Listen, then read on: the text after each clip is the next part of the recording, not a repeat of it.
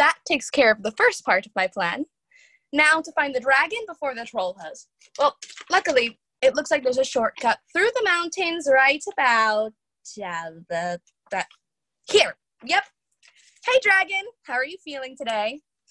Did you just ask me how I was feeling? I sure did. So, how are you feeling? Nobody ever asks me how I'm feeling. Nobody ever comes up here anymore. Why? You got dragon breath or something? No one That comes up here. No one comes up here because I'm very, very, very scary. Okay. You're big and scaly and scary. Now, how are you feeling? What? Dragon must have wax in his ears. I do not I do not want. have wax in my ears. You don't have to shout. Yes, I do.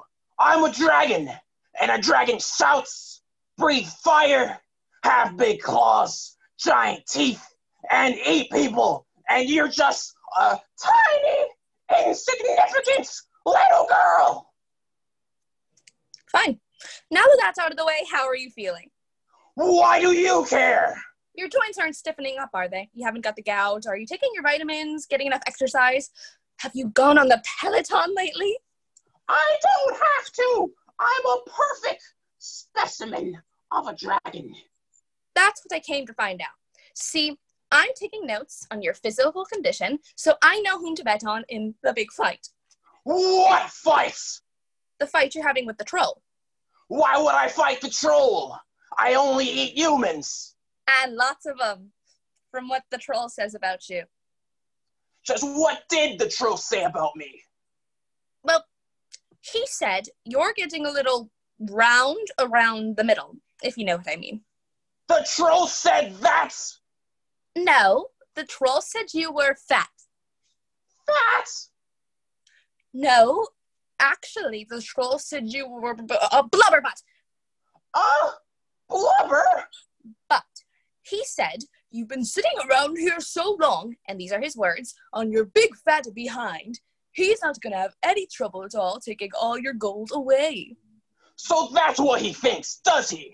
Well, I think it's time for this dragon to teach that troll a thing or two. I'd say it's definitely time. He's coming up the mountain right now. Thank you. Hey! You little rugrat. I thought you said the dragon was dead. What I meant was he'll soon be dead. At least I hope so. I heard you said I was fat. I didn't, but I should have. You are fat. And you're a hairy, smelly old piece of vermin. And you have a big nose. you take that back, Tubby. Make me nerdo. My pleasure.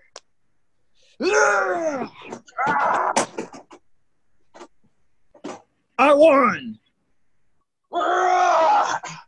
No, I won. Not even. I'm falling.